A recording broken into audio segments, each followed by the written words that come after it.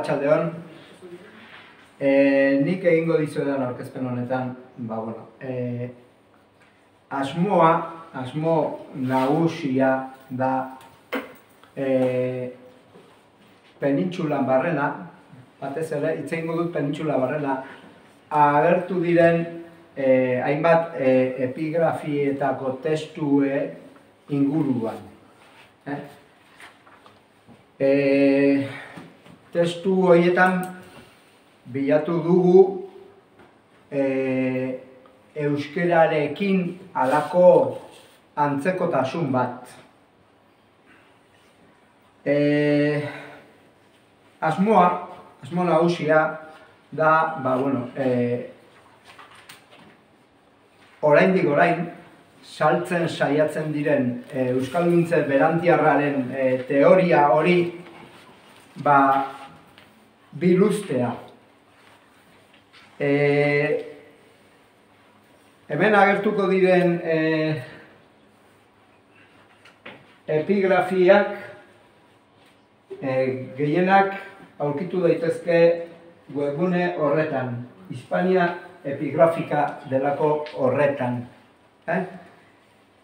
Hor, ba, ematen dizkizue hainbat e, azalpen.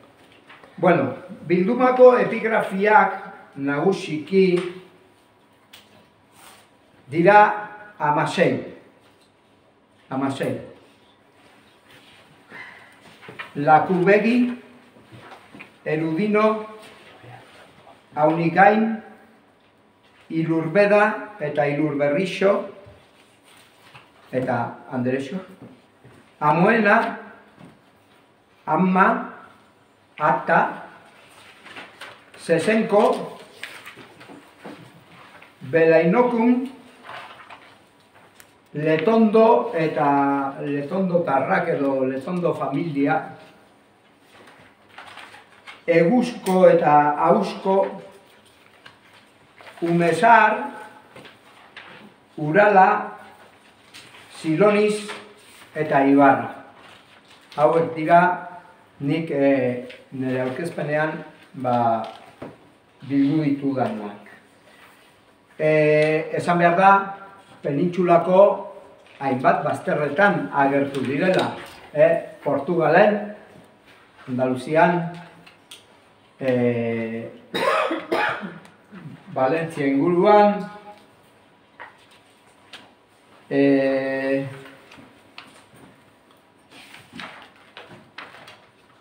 Bueno, e, komentatuko dizkizuet banan-banan, gero, e, zeintzuk eta nun agertu diren. Eh? Hasiko naiz, e, lakubegi delako e, aldare bat da, eta aldarean hartzen du lakubegi exboto. Alegia, lakubegi delakoaren omenez e, edo lakubegi eskainia. Eh?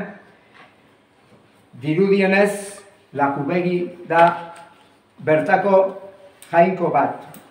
Hau, usue, e, Nafarroako usue, Nafarroa garaiko usue udalerrian agertu da. Eh? E, lakubegi jartzen du. Nik euskararekin nahiko zer ikusia ikusten dut. Zeltarekin arrastorik ez.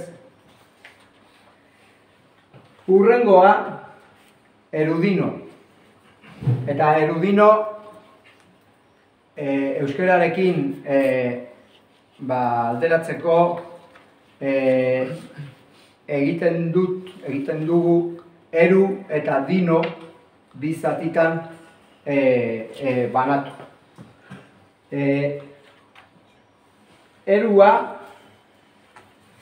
erua da e, labore bat, e, landara bat, e, ematen dituena e, leka batzuk, e, eta da algarrogoaren oso antzekoa. erua deitzen da. Eta dino, dino, edo dino, erabiltzen da euskeraz, e, jasota dago e, euskeraren e, orotariko iztegian, duin bezala. Eh? Duin, dino, digno, digno gazteleraz. Eh? E, hau, e, Kantabriako Suantzez udalerriko ongaio e, herrian agertu da. Eh? E, bueno, hor ikusten duzu, eh? Erua, eta da, sastraka landarea, ba, bueno, berroita mar sentimetro inguruko luze hartzen duena, bai? eta dignok ematen du euskeraz, eh, orotariko iztegian, dino, dino, dinu, aldaera. Eh? Eh, hori, dirudienez, eh,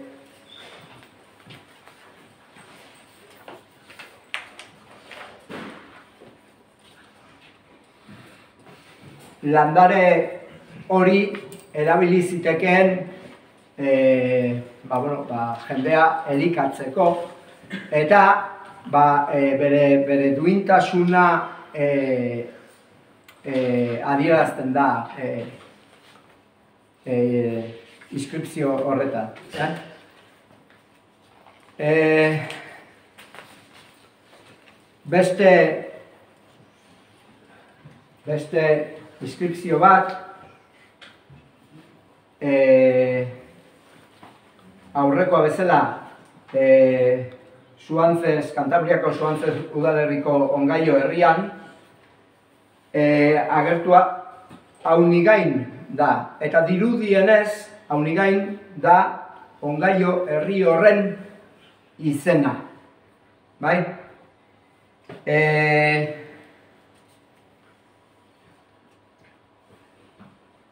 hemen esaten digu, hau gainu, ungainu, ongaio, horrela, bilakera horrela izango zela, eta e, adierazpenak dio agian izen zelta bat dela, baina bueno, hau gain, nik uste dut, zeltatik gutxi daukala. Eh? E, hori, beste gabe e, beste izen bat ilurbeda. Ilurbeda. Ilurbeda da betoien jainko bat. Eta betoien lurrak gaur egungo Salamanca, Ávila, Valladolid, Segovia inguruetan eta Portugaleko ekialde komugetan ere e, omen ziren. Eh? E, ilurbedak ba, e, ilur erroa dauka eta e, ilur beda, ilur bide, ilur,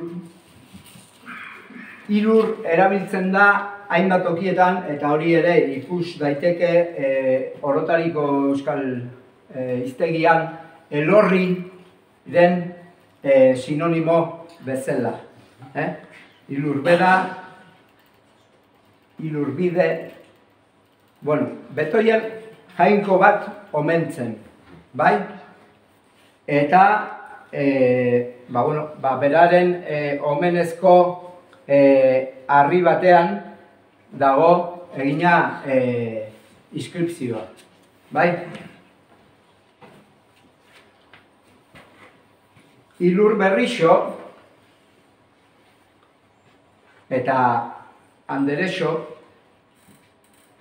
e, jartzen du e, arri horretan eta e, ba, bueno, dira e, Euskal Jainkoak e,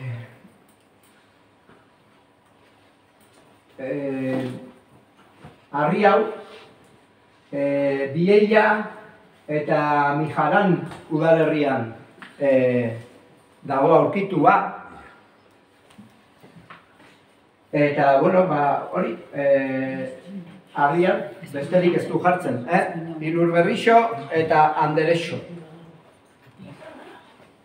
Nere ustez, kutsu erabat euskalduneko hitzak.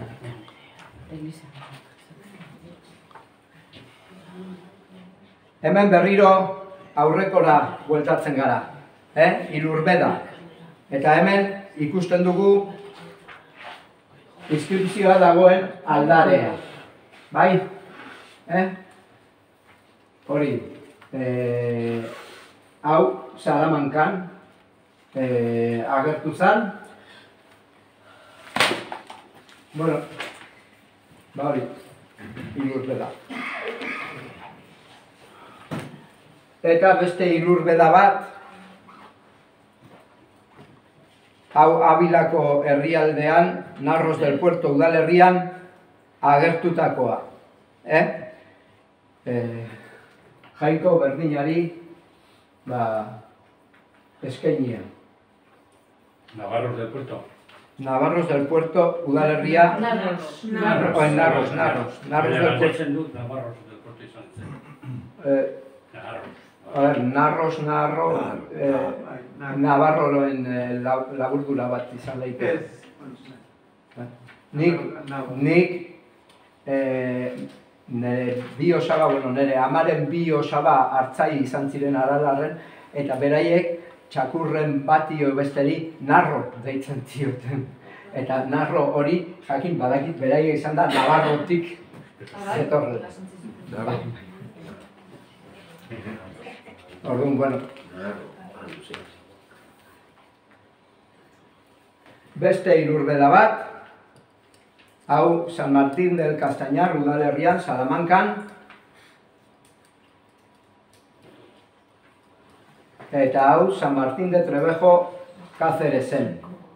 Eh?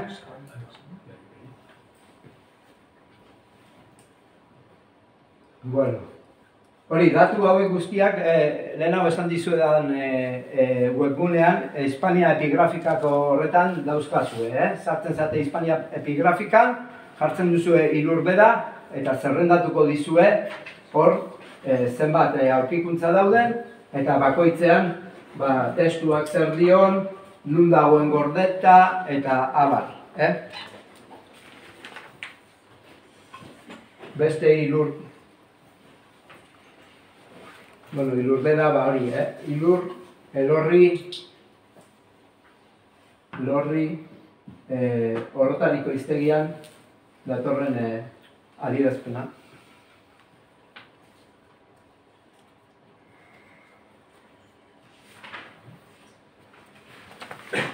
Amoena. Bueno, eh, Amoena eh, dirudienez, emakume izena izan zan, e, baino, e, erromatarren garaian jasoa, baino badirudi e, izen indigena bat dela. Bai? Ez dakigu izena zen, edo izen ordea zen, ez izena zen. Eh? Seguro asko ez izena izango gendun. Eh?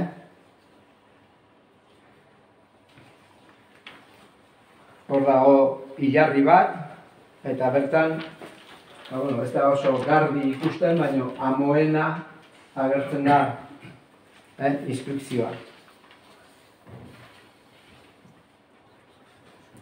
Hemen ere, beste estalki bat, estalki eh, beste hilarri bat, hilarri baten estalkia izango litzatekena, eh? hau Lisboan agertutakoa. Eh? Beste amoena aurrekoa zan Zarza de Montatxez udalerria Cáceresen. Hau Lisboan, Portugalen. Eh? Honek aldaera txiki bat dauka, amoena ez eta amoene, izango genduke. E, malpartida de Plasencia udalerria Cáceresen.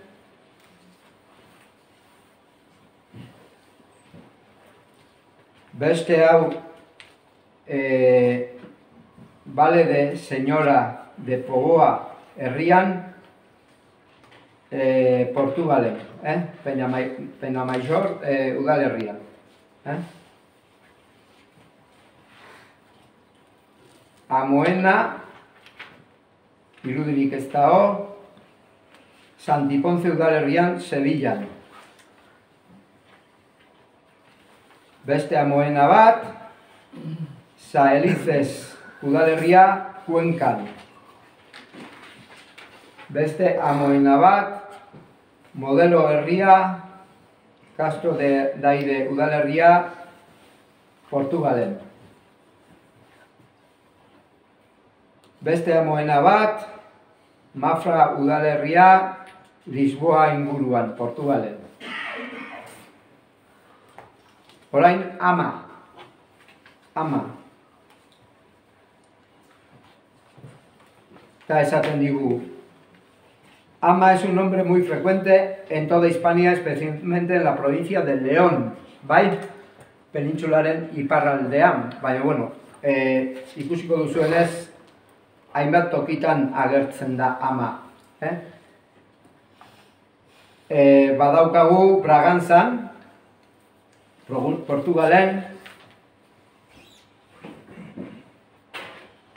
badaukagu. Britxez herria Serpa udalerrian. Alentejon, Portugalen. Badaukagu. Cáceresen, e, barkatu Carmenesen, Gaztela eta Leonen, hemen irudirik ez daukagu, baino Leonen, Leon udalerrian agertutakoa da,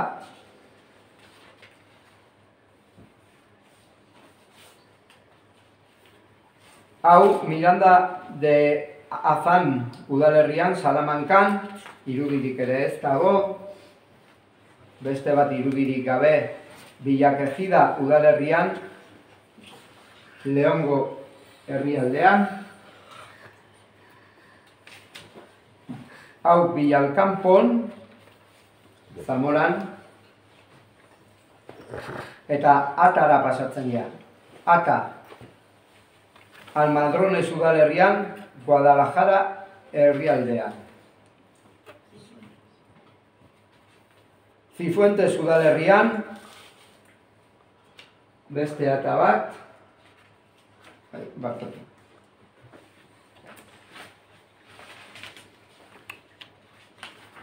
Castroloukon,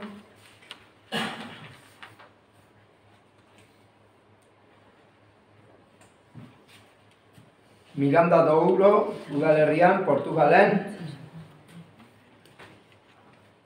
eta egina,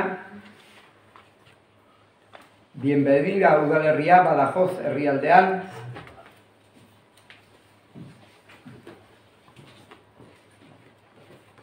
Atasis, Santa Cruz de Yanguas udalerrian, Sorian,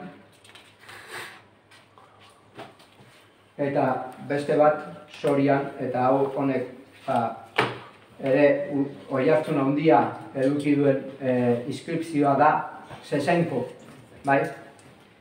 Jakingo duzuenez ko atzizkiak euskeraz txikia adierazten du. Sesenko izango litzateke, sesen txikia, eta ez izena izango litzateke, seguru asko. Eh? Beraz, sesenko delako baten hilarrian agertutakoa eta izena erabili beharrean ez izena erabiltzen da. Belanoikun. Bueno, eh, atzizkiz latinizatua, belanoiku edo belanoiko edo izango litzateke. Ablanke udalerrian Guadalajaran. Letondo eta Letondo tarrak.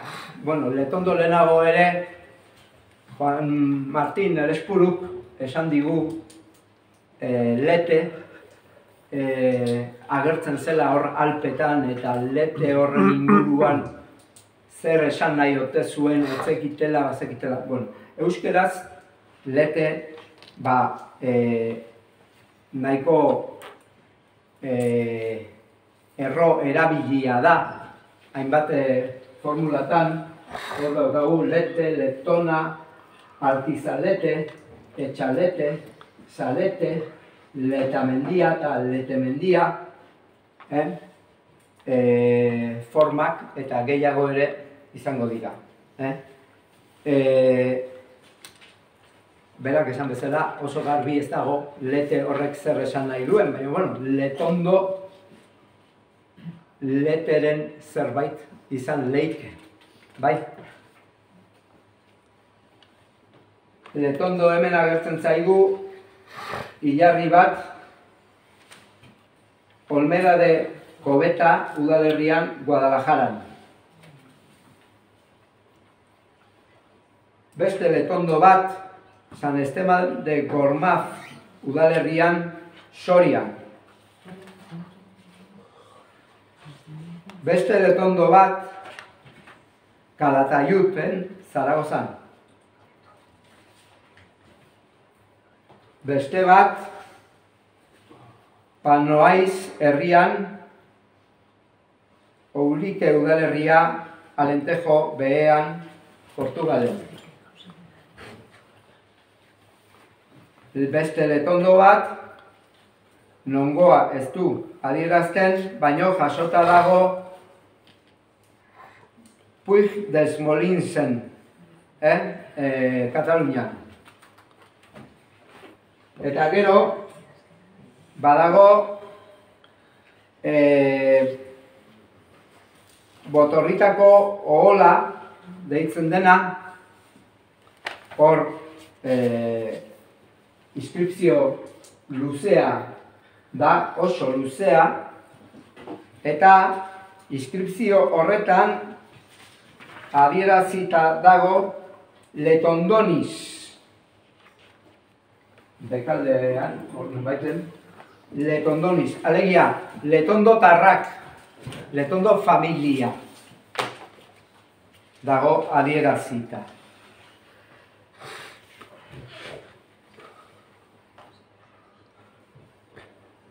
Eguzko eta eguzfini, hilarri bat, moralde zaiago udalerrian, Zamora herrialdean.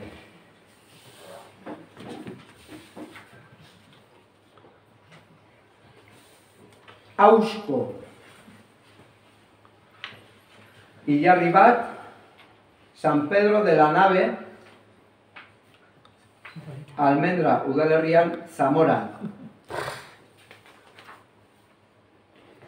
Beste inskripzio nahiko oiartzun nahiko jasoa gure artean behintzat umesar jartzen du Eta ba, hau Zafai aldean lerga udalerrian agertu da. Eh? Mesa. Urala. Eta jartzen du uralaren ilarria. Pino del Oro udalerrian Zamoran.